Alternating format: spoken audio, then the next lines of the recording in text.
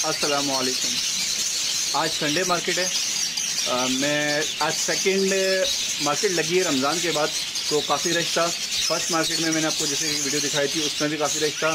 आज भी काफ़ी रश है। तो आज जो मार्केट लगी थी उसमें जाल वालों के रेट तो बहुत कम है लेकिन जो ओपन मार्केट में लोग ख़रीद रहे होते हैं सेल आउट कर रहे होते हैं उसके रेट काफ़ी बेहतर हैं। काफ़ी बेहतर से मुराद बहुत हाई बहुत ज़्यादा हाई तो रेट नहीं है लेकिन परचेजिंग आप आराम से कर सकते हैं और सेलिंग पे भी इतना ज़्यादा वो नहीं है। सेलो और क्रिस्टिक के रेट बहुत ज़्यादा गिरे हुए हैं तो चलता है ये मार्केट का हिस्सा है कभी रेट कम कभी कभी ज़्यादा। लेकिन मैं आप आज एक दोस्तों की चीज़ में डिस्कस करूँ शेयर करूँ। कुछ दोस्त है जिससे मुझसे आज पूछा कि भाई ये बर्ड्स इस वक्त मैं किस तरह से ख़रीदूँ क्या ख़रीदूँ और होने किस तरह के चाहिए पट्टे उठाऊँ क्या करूँ। तो मैं एक, एक, एक आपको एक मिसाल देके एक चीज़ समझाता हूँ आज आज के हिसाब से। वो दोस्त मेरे अच्छे दोस्त हैं। उनसे मैंने बात हुई तो कहने लगे कि मैं पट्ठे ले रहा हूँ इस वक्त। मैंने कहा, पट्ठे क्यों ले रहे हैं आप? तो बोले कि सेट हो जाएँगे, जनवरी, फरवरी में सेट हो जाएँगे। तो फिर मैंने एक मिसाल दी, मैं आप लोगों को भी समझा दूँ।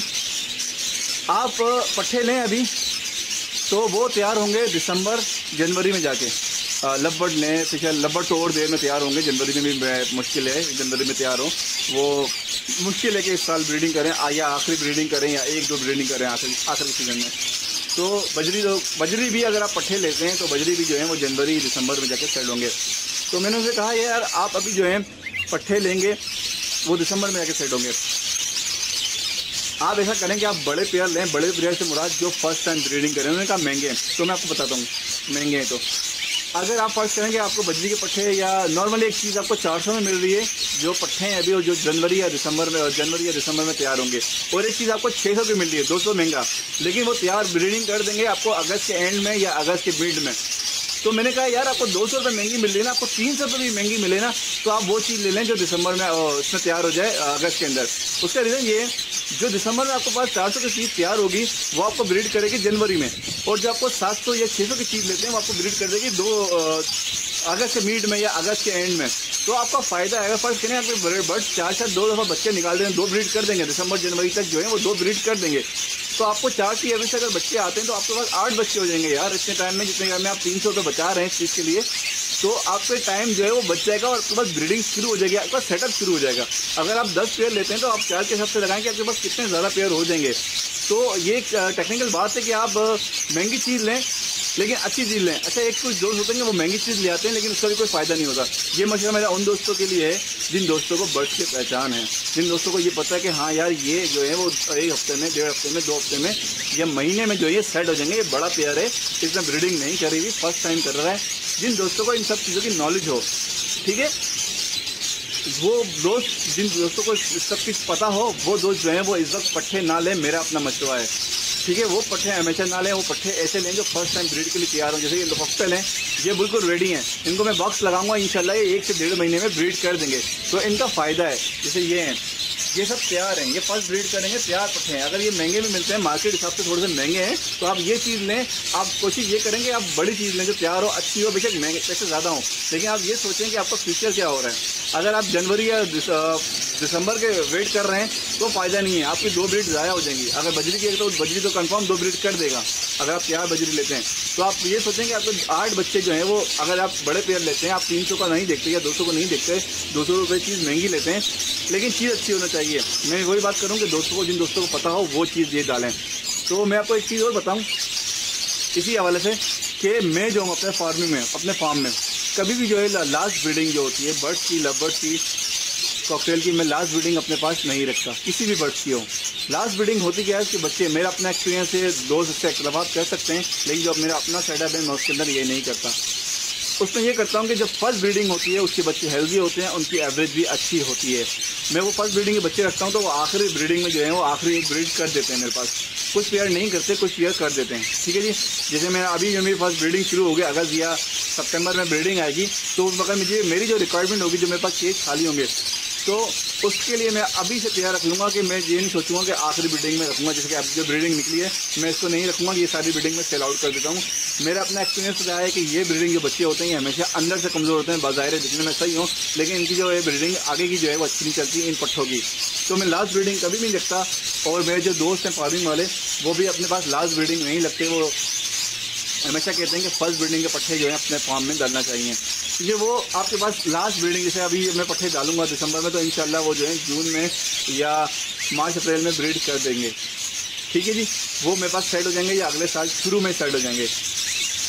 ठीक है, कुछ मेरे पास पेयर रहते हैं जो मैंने आपका एक लोडीने का मेरा पेयर चल रहा था, वो मेरे पास सेट हो गया था, मेरे पास शुरू ब्रीड का था और वो मैंने सेल आउट करने के लिए डाला था, मुझे नहीं पता था, उसने खुद ब्रीड कर दिया था और उसके माशाला से तीन बच्चे निकले हुए और अभी आज आज उसने दो बच्चे कल एक निकला था और आज लोडीनो का एक बच्चा। लोडीनो बहुत मुश्किल से सेट होते हैं और मेरे पास शुक्र अलहमदिल्ला कि मैंने कुछ नहीं किया, मैंने सेल आउट के लिए रखा हुआ था और मुझे नहीं पता था कि पेयर है। वो थोड़ा वीक था, इसलिए वो सेल आउट नहीं हुआ था, मैंने खुद भी नहीं किया था, दोस्त मांग रहा था, मैंने दिया मैंने कहा सेल आउट बीमार हो जाएगा आपके पास वीक है थोड़ा सा। तो मैंने सिर्फ़ बाजरा पानी डालता रहा था। नीचे पट्टों के जो आखिरी वाले केज होते हैं, उसमें मैंने छोड़ा हुआ था। वो पेयरिंग बन गया और उसने अंडे भी दे दिए और बच्चे भी निकाल दिए। तो मैंने उसके ऊपर एक पूरी वीडियो बनाई है, वो पेयरिंग मेरे पास सेट हो गया था। तो वो लास्ट ब्रीडिंग का फ़ायदा ये होता है कि आपके पास घर के होते हैं और आपके पास फ़र्स्ट ब्रीडिंग का फ़ायदा ये होता है कि आपके पास सेट हो जाते हैं। और बच्चे जो हैं वो अच्छे निकालते हैं। हेल्दी बच्चे होते हैं और उनकी एवरेज भी अच्छी होती है। फ़र्स्ट ब्रीडिंग के बच्चे करते हैं। लास्ट ब्रीडिंग के बच्चे जो होते हैं, उनकी हेल्थ जो है वो थोड़ी कमज़ोर होती है। ये मेरा अपना एक्सपीरियंस रहा है। मैं कभी भी जो है वो लास्ट ब्रीडिंग के बच्चे नहीं डालता। तो अभी जिन दोस्तों को मैंने मशवरा दिया कि वो आप कौन से पेयर डालें, वो जो है, अपने पास फ़र्स्ट ब्रीडिंग के बच्चे रखें और सेकंड ब्रीडिंग के बच्चे, जो लास्ट ब्रीडिंग के बच्चे होते हैं, आप वो ना रखें। ये मेरे पास टीचर हैं, ये ये पट्टे निकले हुए हैं, इनको मैंने, इनका सेहो बंद कर दिया है। ये ये लब्बड़ है, वो फिशर हैं। तो इनके मैंने कोलियाँ बंद कर दी हैं, बच्चे हैं, बच्चे भी बाहर हो गए हैं। अब इनको मैं अलग कर लूँगा। आज हम संडे मार्केट से हवाले से मैं अच्छा एक वीडियो में, हर वीडियो में एक बात करता हूँ। तो मैं आज उन आप दोस्तों को भी बता दूँ, मैं हर वीडियो में जो दोस्त ये वीडियो फ़र्स्ट टाइम देख रहे हैं। तो मार्केट के हिसाब से मैं बताऊँ आपको, मैं अपने फार्म में कभी भी जो है, वो बाहर मार्केट से कोई बर्ड्स लेके नहीं आता, कोई भी बर्ड्स नहीं डालता। और जो मैं बर्ड्स अपने सेलिंग आउट करने जाता हूँ, जो सेल आउट जैसे फ़र्स्ट करें नहीं बिका या मार्केट नहीं लगी तो मैं उन बर्ड्स को जो है वो अपने फार्म में वापसी नहीं डालता डायरेक्टली नहीं डालता, जो मेरे अपने बर्ड्स होते हैं। उन्हें मैं घर में लाता हूँ, घर लाने के बाद नीचे की तरफ़ रखता हूँ, छत पे नहीं लाता तो नीचे रखने के बाद उनको तीन से चार दिन, पाँच दिन, सात दिन स्प्रे करता हूँ स्प्रे करने के बाद जो है वो अपने फार्म में धूप लगाता हूँ और स्प्रे करता हूँ। फर्मा किलर के नाम से स्प्रे है, वो स्प्रे करता हूँ और धूप लगाता हूँ। और जब जाके पाँच से छः या सात दिन बाद जो है, मैं अपने बर्ड्स जो है, ऊपर अपने फार्म में डालता हूँ, इनमें दोबारा डालता हूँ पट्टे हों या बड़े। ठीक है जी? ये चीज़ मैं लाजमी करता हूँ। और कुछ ऐसे बर्ड्स होते हैं जो जैसे कि मैं फ़र्स्ट करें कि मुझे कुछ रिक्वायरमेंट थी, जैसे मैं कुछ चीज़ खरीद के लाया, दोस्तों या मुझे अच्छी लग गई। तो अगर मैं चाहे मेरा जितना अच्छा भी दोस्त हो अच्छा मैं एक चीज़ और बता दूँ कि मैं मार्केट से कोई बर्ड परचेज़ नहीं करता। ठीक है जी? मार्केट से मैं कोई नहीं लेता मेरे कोई दोस्त हैं जिनकी फ़ार्मिंग से जो है मैं बर्ड्स लेके आता हूँ, उनके फ़ार्मिंग बहुत साफ़ होते हैं, बहुत सेटअप उनका बहुत अच्छा है, साफ़ सुथरे रखते हैं स्प्रे करते हैं। तो उसके बावजूद मैं आपको बताऊँ, उनका पेयर जितना भी साफ़ हो, जितने भी अच्छे हों स्प्रे करा हुआ हो, उसके बावजूद मैं उनके बर्ड जो है अपने फार्म में लेके नहीं आता। अपने नीचे घर में रखता हूँ, तीन से चार दिन, सात दिन उस पर स्प्रे करता हूँ। स्प्रे करने के बाद जो है वो मैं अपने फार्म में लेके आता हूँ। ठीक है? अच्छा मैं ये ऐसा क्यों करता हूँ क्योंकि देखें, आप जिन दोस्तों के पास फ़ार्मिंग है, या थोड़े पेयर हैं, ज़्यादा पेयर हैं अगर खुदा न खास्ता एक पेयर बीमार आता है तो आपकी पूरे कॉलोनी में, आपके पूरे सेटअप में, पूरे फार्म में बीमारी फैल जाती है और खुदा न खास्ता बीमारी आपकी फैल जाए तो वो बहुत मुश्किल होता है कवर करना। लबर्ड के स्पेशली आँखों की बीमारी आती है खिचक की बीमारी जो होती है, उससे ये संभल नहीं पाती चाहे जितना बड़ा भी फार्मर हो, मैंने देखा है वो तबाह होते हुए। तो आप बीमारी का इलाज करने से बेहतर है कि आप बीमारी को आने ही ना दें, एहतियात करें। आ जाए तो उसका भी हल होते हैं। अल्लाह पाक ने हर चीज़ के एक बताया है। लेकिन कोशिश ये आप करें कि आप बीमारी को ना आने दें। बीमारी आने से पहले जो है अपना बर्ड अपनी केयर करें। फ़ार्मिंग कभी भी जो है, आप फ़ार्मिंग हो या कॉलोनी हो, अपने दूसरे बर्ड्स ला के डायरेक्टली ना डालें। फर्मा किलर के नाम से स्प्रे आता है, पानी मिला के उससे स्प्रे किया है वो मैं डायरेक्टली करता हूँ। बर्ड्स के ऊपर करते हैं, वो बर्ड्स को कोई मसला नहीं होता। अच्छा कुछ दोस्त मैं आपको एकदम ध्यान में आ गई। कुछ दोस्त ऐसा ना करें कि जो जो दूसरे स्प्रे होते हैं माउंटेन वगैरह के, ये स्प्रे ना करें, इसके बारे में मुझे कुछ भी नहीं पता। ये स्प्रे से हो सकता है बर्ड्स आपके मर जाएँ, मुझे इसका नहीं पता। और कभी करिया भी नहीं टाइफोन वगैरह वैसे स्प्रे होते हैं, ये चीज़ें आप ना करें। ठीक है जी? इसका मुझे नहीं पता, मुझे कोई एक्सपीरियंस नहीं है, सिर्फ़ मैं सिर्फ़ मैं एक एक एक स्प्रे बताया फर्मा किलर होता है। सिर्फ़ मुझे उसका बताया, मैं उसके बारे में आपको बता रहा हूँ, ऐसा ना हो कि आप कोई भी स्प्रे उठा के कर दें और आपके बर्ड खुदा ना खासा कुछ हो जाए तो आप बाद में बोलेंगे, यार, मैंने अपना वीडियो में देखा था। क्योंकि मैं आपको वही बात शेयर कर रहा होता हूँ, जो मैं खुद कर रहा हूँ, जो मुझे इसका एक्सपीरियंस हो। खुदा ना खासा कोई आप ऐसी उल्टी चीज़ उठा के स्प्रे ना कर दें, जिससे आपके बर्ड्स जो हैं वो नुकसान दे हो। ठीक है जी? आप सिर्फ़ एक फर्मा किलर होता है, वो स्पेशली बर्ड्स के लिए होता है। इसलिए मैं आपको वो बता रहा हूँ। उसके अलावा मैं कोई स्प्रे नहीं करता, कोई भी चीज़ इनके ऊपर नहीं करता। तो मैं आपको डिस्कस कर रहा था कि फ़ार्मिंग के ऊपर एक ऐसा चीज़ होती है।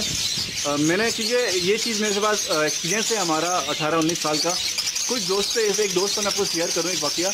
एक दोस्त था जिसके पास कानून थी उसके पास पचास साठ जो है वो बच्चे जो हैं पूरे मतलब प्यार थे, बच्चे बड़े सब।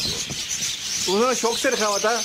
एक दोस्त के पास कॉलोनी थी, उनके सारे मर गए, उनके पास एक बचा। उन्होंने क्या कह रहा निकाल के इस दोस्त को ला दे दिया। और वो बताते हैं कि यार, मेरे पास वो मगरब के बाद लाया, और मगरब के बाद लाके उसमें मैंने डाल दिया। और सुबह उठाऊं तो उसमें से सारे तोते मर गए, ये सिर्फ़ आठ या नौ बच्चे बचे मैं देख के अपना सर पकड़ के बैठ गया, यार, हुआ क्या? तो वो बीमारी बजरी के अंदर, स्पेशली ऐसी आती है कि पूरे के पूरे फार्म तबाह हो जाते हैं। ये बात मैं आपसे सिर्फ़ डिस्कस कर रहा हूँ कि आप इस चीज़ की एहतियात करें। कभी भी जो है, कोई बर्ड जो है अपने फार्म में डायरेक्टली न लगें, उसको स्प्रे करें, उसको धूप लगाएँ, सात आठ दिन उसको अलग रखें, उसके बाद जाकर अपने बर्ड्स में मिलाएँ। अच्छा देखिए, हर बात पैसों के लिए नहीं होती है। कुछ होते हैं दोस्तों के शौक में रखा हुआ है, उन्होंने केयर करते हैं। उस शौक में जो है, खुदा ना खासा शौक में जो है, वो खुदा ना खासा उन्होंने लाके किसी बीमार बर्ड डाल दिए और उनका पूरा का पूरा फार्म तबाह हो गया, पूरी पूरी कॉलोनी स्पेशली बजरी में बहुत ज़्यादा आता है लव में बहुत ज़्यादा आता है, पीछे लोडिनों में भी आती हैं बीमारियाँ। तो सारे के सारे जो मरते हैं, वो बजरी में होता है। मैं बजरी की बात कर रहा हूँ, क्योंकि मुझे बजरी का पता है, मेरे दोस्त के साथ और बहुत सारे दोस्तों के साथ एक्सपीरियंस हुआ है। और जो आँखों की बीमारी चिका की बीमारी, ये लब्बर शिकर और लोडिनो वगैरह में इनमें आता है। ठीक है जी? तो एहतियात सबसे ज़रूरी, बीमारी के इलाज से बेहतर है कि एहतियात। कुछ दोस्त बोलते हैं, यार, बीमारी का बताऊँ, यार मैंने तो तुम बताओ तुम्हारे पास बीमारी कैसे आई?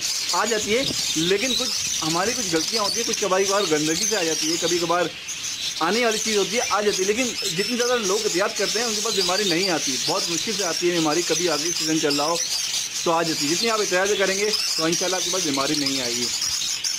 मार्केट की आप जो बात कर रहे थे, आज रेट बहुत कम थे। फेलो वगैरह के केसिस वगैरह के रेट बहुत कम थे यार। अब देखते हैं क्या होता है, कुछ टाइम बाद हो सकता है बढ़ जाए रेट अभी परचेजिंग आप करें तो जैसे मैंने शुरू वीडियो में कहा कि आप बड़े पेयर करें। बड़े पेयर से मतलब ब्रीडिंग पेयर ना करें आप। ब्रीडिंग पेयर जो है, वो किसी का भी मैं नहीं कहूँगा कि आप ब्रीडिंग पेयर डालें। आप फ़र्स्ट टाइम जो ब्रीड करें, ऐसा पेयर डालें अच्छा होगा, थोड़ा महँगा मिलेगा, लेकिन आपके पास सेटअप आपका जल्दी स्टार्ट हो जाएगा। सेकेंड मैं रेट आप अपडेट करता हूँ, जिस तरह से हमेशा करता हूँ इमेजेस के साथ मैं अपडेट करता हूँ, काफ़ी सारे दोस्त जो है वो देख लेंगे। तो उम्मीद आपको वीडियो अच्छी लगी होगी। अल्लाह हाफिज़ पी अमान